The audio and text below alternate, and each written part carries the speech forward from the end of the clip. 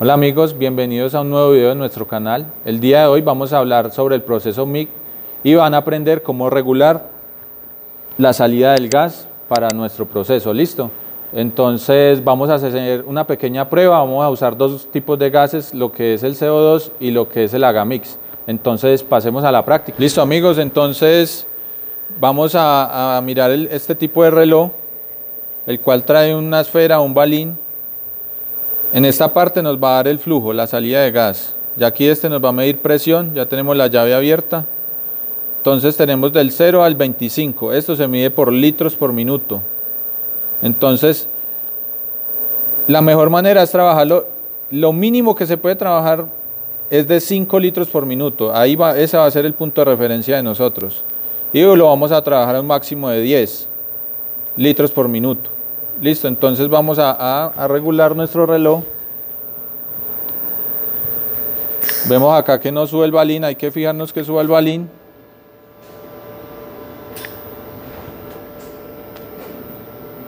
Accionamos, vemos que ya estamos llegando ahí al 5, que el balín den toda la el, la raya del 5 nos den la mitad del balín. Listo, de la esfera. Listo, entonces vamos a hacer una pequeña prueba.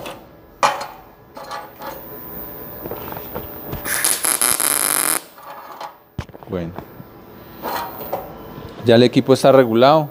Otra cosa, este, este es gas, esto es mezcla, 75% argonio y 25% CO2. Agamix, es un gas mucho más puro, entonces la máquina de por sí va a trabajar mucho mejor. Y por acá tenemos ya una prueba Vamos a una probeta.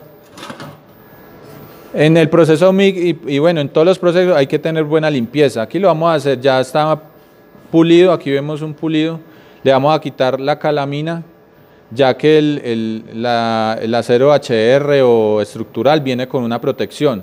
Y muchas veces pegamos el punto y vemos que no se nos despega y parece como si hubiera habido un, como si hubiera rechazado pues la soldadura y es eso, es ese, esa, esa capa de protección que trae el material, listo.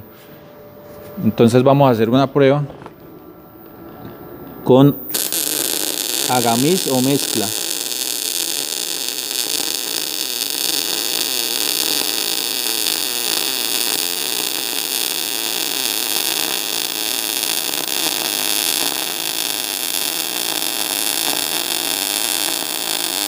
Es un arco muy fluido, escuchen la máquina.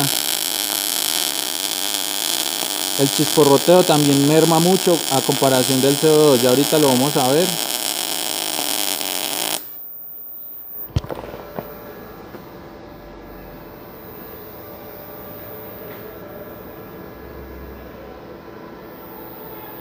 Otra cosa para medir el, eh, para saber en qué, en qué posición ponemos el flujo del gas.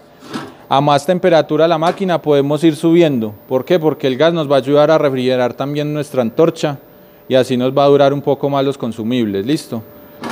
Otra cosa a tener en cuenta, corrientes de aire. No es que estemos en un lugar cerrado, no tenemos que estar pues, porque tiene que haber ventilación, debe de haber ventilación, ya que los humos y los gases de la soldadura, cualquier proceso de soldadura, son nocivos pues para nuestra salud.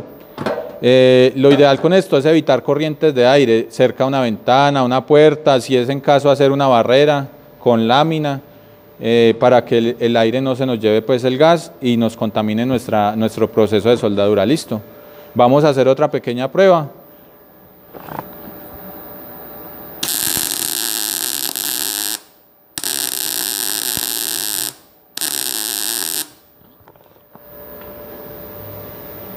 Estamos trabajando en un amperaje bajo.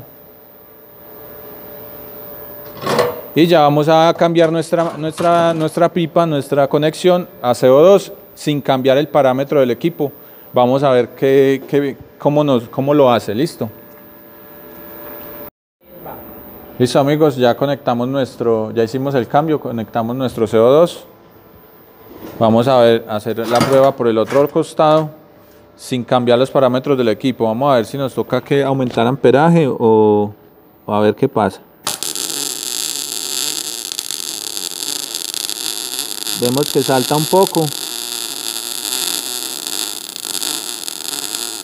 Hay que subir amperaje. Vea que si cambia de un gas a otro, si cambia la, la apariencia, pues como el trabajo de la máquina. El otro gas ayuda como a calentar más la pieza. Entonces vamos a subir un poco más de amperaje.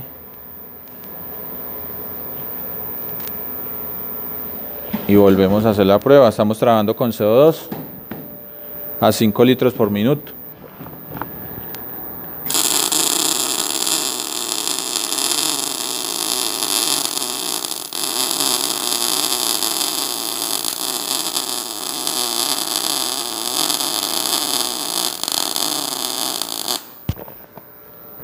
Mejor un poco. Aumentar un poco más de entonces si hay, si hay diferencia ya vemos acá. Acá el cordón fue más fluido. De todas maneras que implica en, subir, en saber manejar la máquina ya los amperajes. Eh, pero eh, el gas el CO2 es mucho más económico que, mezcla, listo, para que lo tengan en cuenta.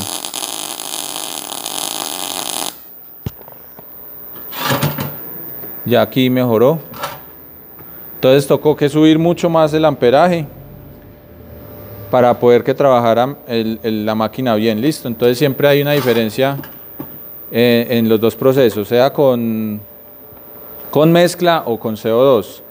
Eh, la mezcla siempre nos va a dar un mejor terminado, la máquina va a trabajar más fluido, va a ser el arco más estable, menos chisporroteo. Eh, ya ahí vemos pues una diferencia visual del uno al otro. Poco chisporroteo, no quedó como las pepitas que quedan de por sí. Y ya vemos acá en el otro que queda mucho chisporro, del chisporroteo, queda mucha, mucha escoria, mucha pepa. Bueno, para los que trabajan con, con tubería, pues yo les recomendaría el CO2 por lo económico. Ya para trabajos más especializados sería mezcla. O va en criterio de cada quien como quiera trabajar sus máquinas. Si quieren trabajar algo, sentir la máquina mucho más diferente, con más fluidez, les recomiendo entonces el, el Agamix. Ah, recuerden que eso es una mezcla de argón con CO2, 75% argón y 25% CO2. Entonces, recordemos que mínimo 5 litros por minuto y vamos a subirlo hasta un máximo de, de 10 litros por minuto, ya teniendo en cuenta el espacio donde estemos trabajando. Si hay ventilación, corrientes, pero en, en todo el sentido hay que tratar de, de evitar eso. Ponemos una barrera, bueno, si estamos afuera haciendo una reparación, si tenemos ayudante, lo ponemos que nos tape un poco la corriente del aire, como tapando un fósforo que no se nos apague, para así evitar gastos excesivos eh, de consumibles como lo es el gas. Entonces amigos, espero el video les agrade, se suscriban a nuestro canal y vamos a seguir haciendo contenido. La próxima vez vamos a hablar sobre revestida, Vamos a hablar sobre TIC. Entonces, amigos, hasta la próxima.